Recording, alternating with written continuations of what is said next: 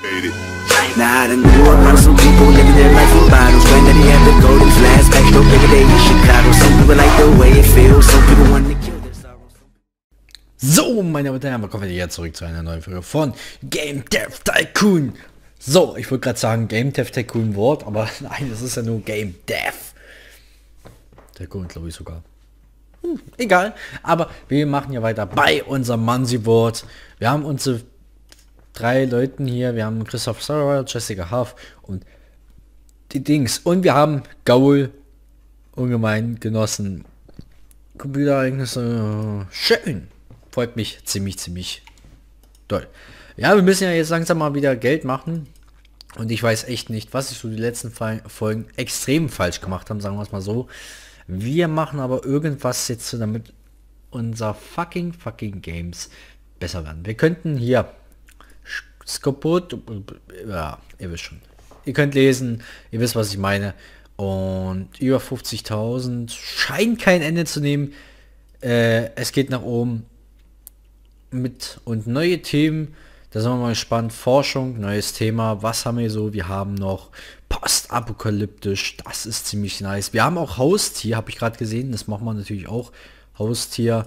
Und nur zur äh, Vollständigkeit machen wir einfache Körpersprache. Okay. Machen wir einfach Rhythmus, nur damit alles voll ist. Auch wenn ich Rhythmus noch nie gespielt habe. Oder noch nie programmiert habe. Wir sehen, Goal hat einen Bergauf- und Talfahrt, Bergauf- und Talfahrt so wie mein eigener Kanal und da sehe ich, ja, keine Ahnung, was ich jetzt sagen wollte. So, wir machen aber jetzt hier ein schönes äh, postapokalyptisches Spiel und das nenne ich äh, Nuke. Nuke ganz einfach, ja, ihr wisst warum. So, das Spiel ist einfach mal für alle ja, obwohl, nein, wir machen das eigentlich mehr für Erwachsene, weil postapokalyptisch ist natürlich nicht schön, wenn man das den kleinen Kindern so vorzeigt. Und wir arbeiten alle an diesem fucking fucking Spiel. Deswegen Action braucht natürlich eine hohe Engine, ein hohes Gameplay und äh, ein bisschen Story und Quest. Und der Rest können wir eigentlich so lassen. Das wurde ich sogar angeschrieben, wenn ich ja, ich hab, wurde schon vorhin gerade angeschrieben, aber ich muss dazu sagen, äh, ich wurde zum Duell herausgefordert. Ähm, naja, so. Wer, okay, es gibt Blazes äh, hier in Blaze System 3 und da sind wir mal gespannt, ähm, ob die gut rauskommen. Wir schicken aber sie mal zuerst in Urlaub, damit er weiterarbeiten kann. Danach ist sie fertig. Äh, und dann, ja, wir gucken mal nebenbei kurz auf meinem Handy. Hm. Action machen wir ein kleines bisschen. Verbesserte KI ist natürlich wichtig bei einem Action-Spiel. Level-Design und künstliche Intelligenz äh, machen wir mal künstlich ein bisschen weniger. Level-Design ist fucking fucking wichtig, finde ich. Ähm, wir sollen 90.000 für eine Klimaanlage raus kein Problem. Also Klimaanlagen sind natürlich wichtig. Blazes 3 von Voni wurde rausgebracht jetzt. Ähm, wir schicken ihn jetzt auch noch in den Urlaub aus dem folgenden Grund. Äh, er würde Fehler machen, einen Haufen Bugs und die Bugs dann äh, würden am Ende viel, viel Zeit brauchen, um äh, raus, äh, ähm, ja, ehe sie draußen sind. Und ich würde mal sagen, alles auf dem gleichen Level ist schon ziemlich, ziemlich okay. So, die drei Bugs sind draußen. Der eine Bug ist wieder drin, der Bug ist draußen. 58, 58. Äh, von den Punktzahlen gar nicht mal so dämlich, muss ich sagen. Aber wir hauen gleich ein neues Spiel raus. Und zwar Hundi wird als äh, Spiel, Simulation, GS, PC, Noob, spielen zum Beispiel 4, wie unsere letzten Games allgemein. Äh, wir hoffen mal, Bewertungen sind draußen. So, 5, 6, 4, 6, okay. Äh, hört sich... Okay, sollte mehr auf Technik gehen. Auf das ganz Technische. Okay, schön. So, Story Quest brauchen wir überhaupt nicht. Engine und Gameplay sollte relativ hoch sein. Mehrspieler-Modus können wir reinmachen. Mod-Support nehmen wir mal raus. Äh, Spieltutorial lassen wir mal drin und Charakterentwicklung nehmen wir raus. In einem virtuellen Haustier-Simulation ist das, glaube ich, alles nie so das wunderbarste, aber es passt schon. So, sie können wir dann auch irgendwann mal in den Urlaub schicken. nachdem wir das Spiel, glaube ich, fertig haben. So, Dialoge komplett raus. Künstliche Intelligenz nehmen wir hoch. Level sein immer ran. Auch oh. so. Ja, Level Design ist ganz, ganz so wichtig. Und jetzt gucken wir, dass wir hier auch einen Haufen Umsatz machen und hier auch einen Haufen Punkte reinknallen. Ich will sie ja ungern jetzt schon in Urlaub schicken. Ah, obwohl Tag-Nacht-Zyklus wäre bestimmt geil. Aber ich glaube, das können wir uns im Moment nicht ganz so leisten. Deswegen passt das schon so.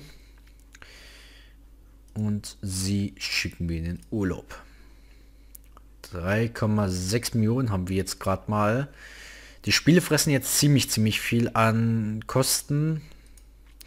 PlayStation 2 wird bald vom Markt genommen und wir haben gerade erst ein Spiel dafür rausgebracht. Also am besten jetzt überhaupt kein Spiel mehr rausstellen. Keine starken Trends, schade, schade, schade. Gute Themen, Kombi, Intelligenz, Grafik, Sound aufgestiegen, super. So, und dann Nuke wurde vom Markt genommen, 1000, äh, 1 Million plus, nicht viel. Und die ersten Bewertungen Huni sind draußen.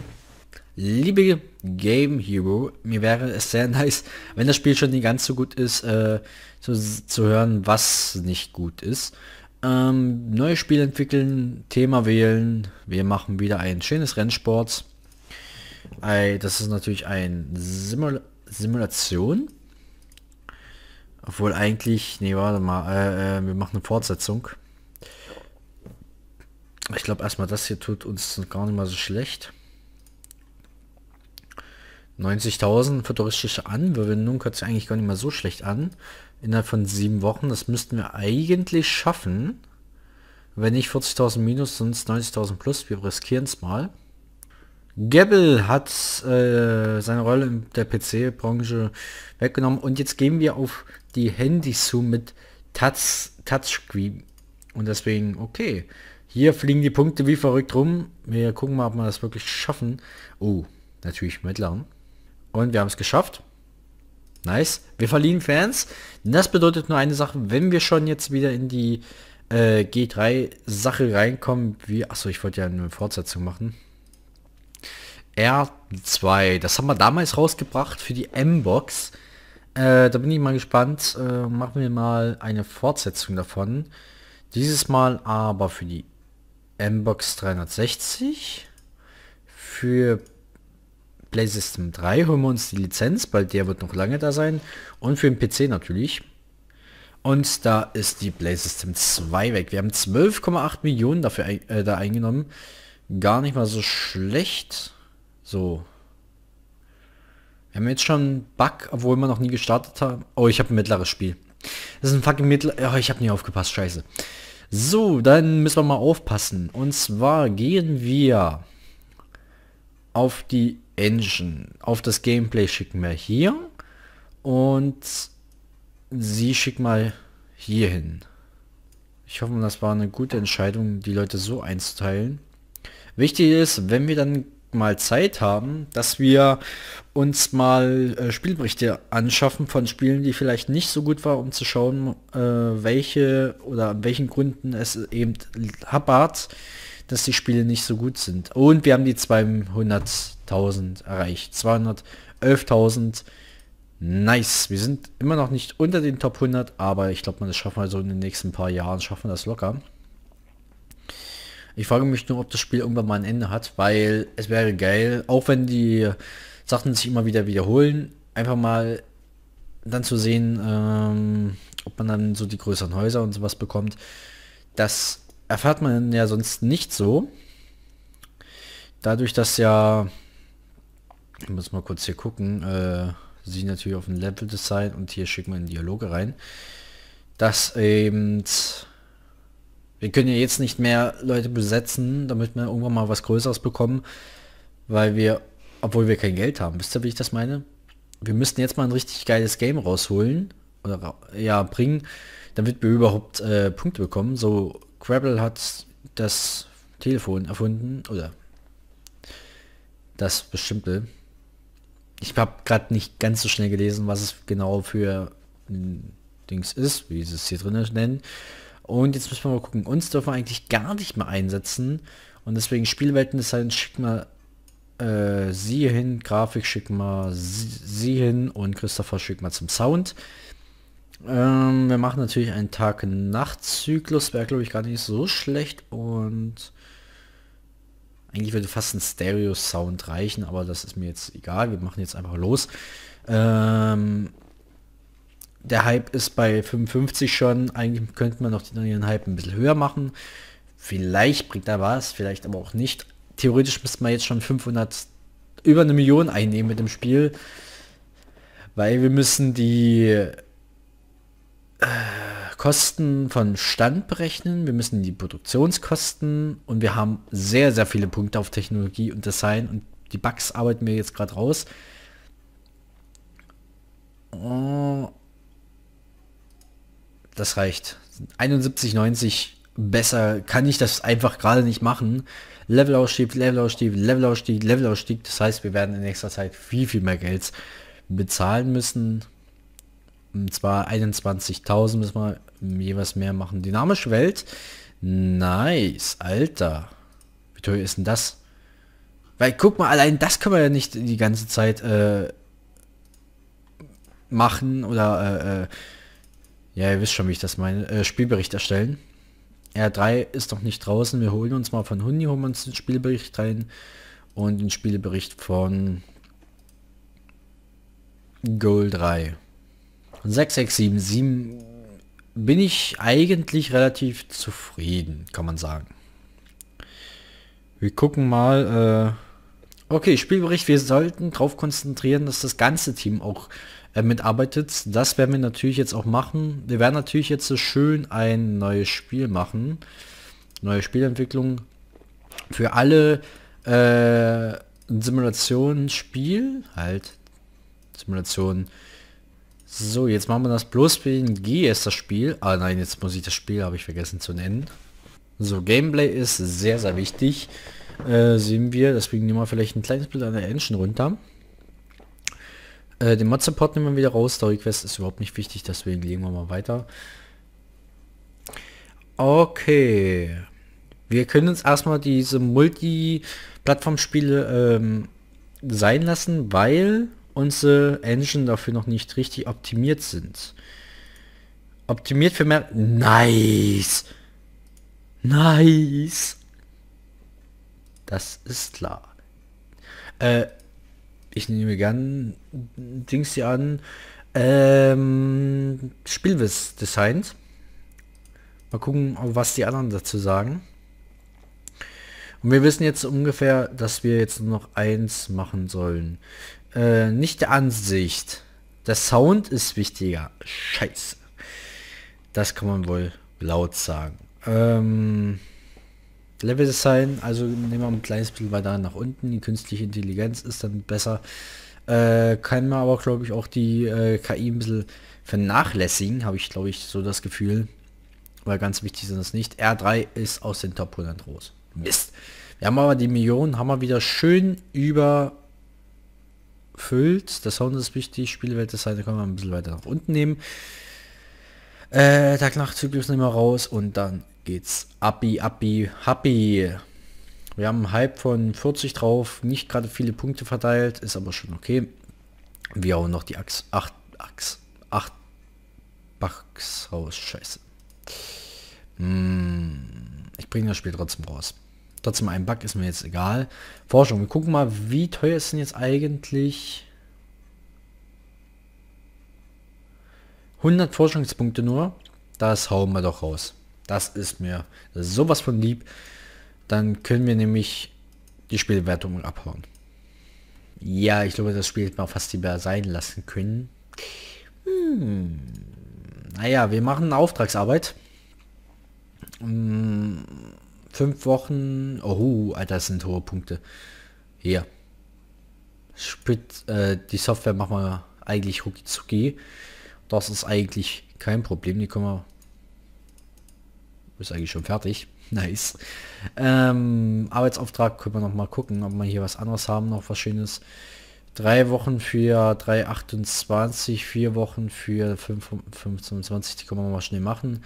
Und die Verbesserung für die Plattform ist da.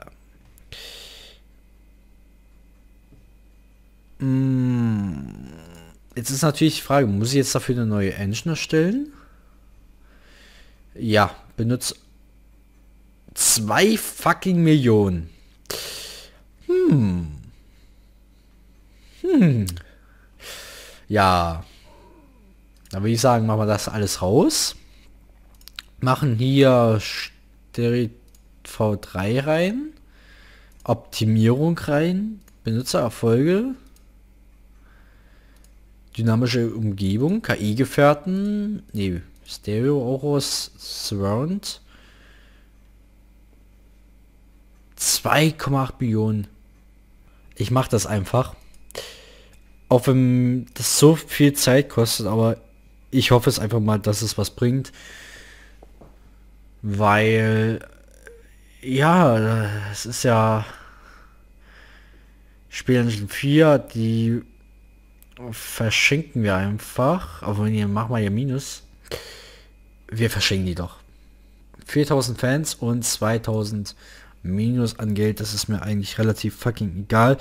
Wie gesagt, ich habe jetzt nur noch Angst, dass ich das Problem habe, dass, äh, ja, Messestand, holen wir uns, wir müssen uns einen kleinen holen. Dieses Jahr müssen wir mal klein fahren. Sie schickt mal in den Urlaub. Katze wurde vom Markt genommen. Ja, ich gehe mit Katze, gehe ich auf Dings. Das ist scheiße. äh, in Urlaub schicken. Jetzt sind wir zu zweit an der fucking Engine.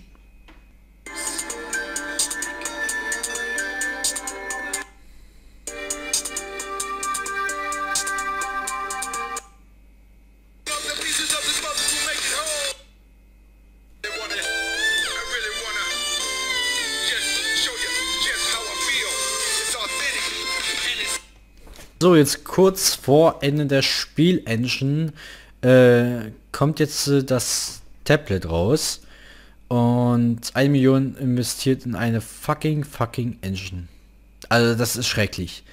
Und wir müssen jetzt sofort ein fucking fucking neues Spiel erstellen. Äh, und zwar ein Action, äh, ein Abenteuer. Hm, wäre ich eigentlich für ein Sci-Fiction-Abenteuer. Und jetzt können wir Multiplattform machen. Yay. Oh, 500.000, nein. Das Geld fehlt mir jetzt gerade. Das kotzt mich irgendwie teilweise an. Multi-Gaming 1.